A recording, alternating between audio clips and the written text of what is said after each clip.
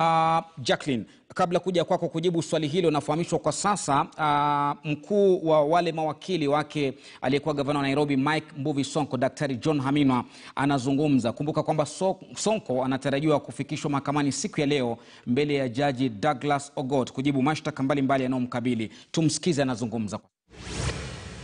by about six doctors of uh, Kenyatta Hospital, Nairobi Hospital.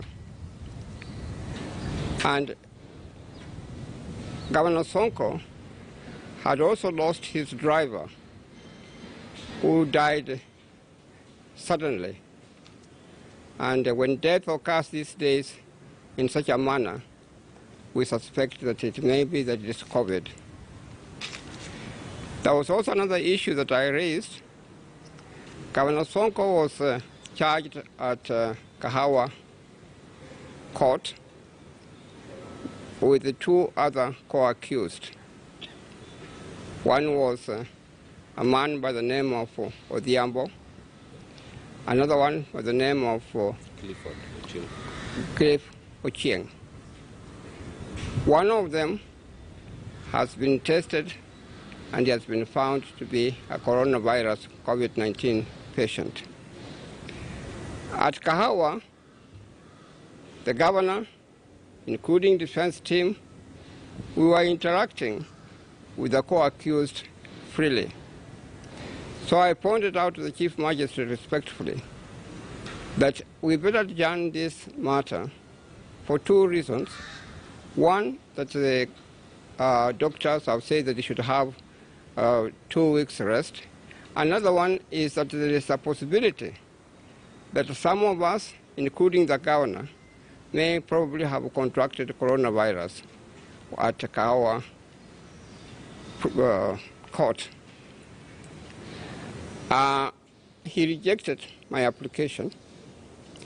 I then told him that I'm going to make some applications this morning several applications, but I told him several applications that I'm going to raise in court this morning. Now, when we assembled in court this morning, very much to my surprise, the media was not present in court at all. And I raised the issue with him. I told him that, look, this is a public hearing, and under Article 50 of the Constitution, yeah. Yeah. Under Article 50 of the Constitution, the media represents the public. And there's no way you can shut out the media from the proceedings at all. It was then pointed out to me that some time back before I got in, involved into this case, it was ruled that the media would not be allowed to be present when witnesses, protected witnesses are, pro, are uh, adducing evidence. And again, I pointed out to him respectfully that the applications that I'm going to make have absolutely nothing to do with the media at all, uh, with the protected witnesses at all. They have nothing to do with the protected witnesses. They are ordinary applications that do come up from time to time during a criminal hearing. And I saw no reason why the media should be excluded from the court. He insisted that he had made orders very clear in the past that the media would not be allowed and that the, uh, the next witness should be allowed to testify. It was at that stage that I told him that I would not sit in the courtroom at all, partly because I wanted to make applications which I thought were important to promote a fair hearing, and if I'm not permitted to make those applications, I would not be of much use to the governor at all. So I decided now to walk out. But before I decided to walk out, I did point out to him that there is a complaint that has been forwarded to the Judicial Service Commission against him by Governor Sonko. And in that complaint, it is quite clear that the Constitution of the Republic is being mutilated. It is no longer being followed or complied with at all. So that's where we stand now.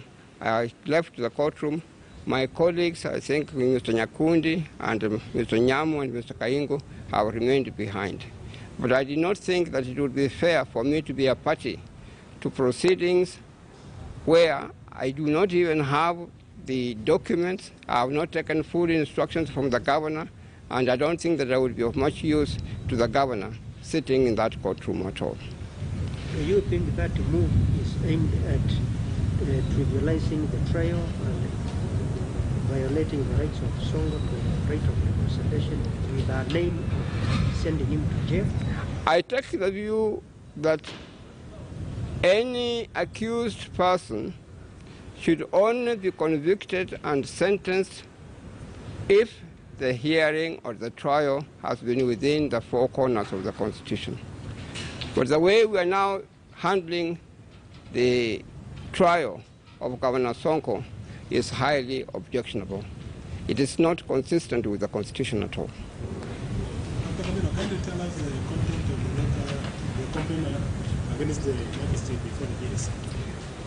Uh, I'm sorry I don't have the documents here, but from what I was able to pick up from the, uh, the letter of the complaint to the Judicial Service Commission, uh, this court seems to have been sitting at very odd hours, and uh, um, the accused was not given the opportunity to carry out effective cross-examination at all and that uh, on the part of the accused, he, accu- he accused the court of bias against him.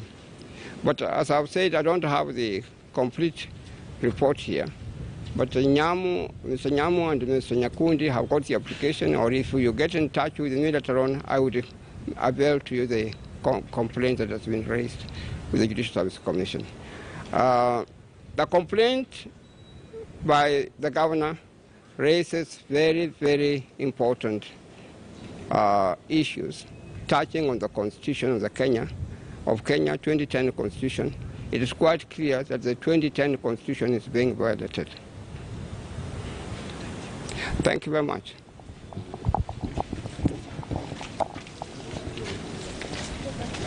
Mtazamaji, huyo ni uh, Daktari John Haminwa ambaye ni uh, wakili mkuu wa kesi yake Sonko Mike Mbuvi ambayo inamkabili mashtaka matatu na zaidi ya ubadhirifu wa mali, ulagai na vilevile vile, uh, upangaji wa ugaidi. Kumbuka kwamba baadhi ya sababu ambazo wamezitoa Haminwa za kumfanya atoke katika mahakama ile wakati kesi inaendelea, mojawapo ni kwamba hawakupewa nafasi wanahabari kuingia kuifuatilia kesi, kesi ile, na sababu ya pili ni kwamba alikuwa amewasilisha ombi kwa hakimu Douglas Ogot kwamba kesi hii isimamishwe kwa majuma mawili kutokana na mmoja wa washukiwa wale wawili ambao wanaambatana kesi hii na, ya, e, pamoja na Sonko kwamba anaugua virusi vya korona. Kwa hivyo kuna uwezekano kwamba Sonko ameambukizwa au la, lakini apatiwe pumziko la majuma mawili kwa mujibu wa daktari wake. Hilo limekataliwa na kwake wakili Hamino anasema hiyo ni hujuma kwa uendeshaji wa kesi. Ameamua kujitoa katika kesi ile, ijapo inaendelea kusikilizwa. Tutakuwa tunakujuza mengi zaidi yatakayojiri ndani ya kizimba mbele ya hakimu Douglas Ogot. Lakini tutarudi hapa studioni tumalize na mgeni wetu katika mdahalo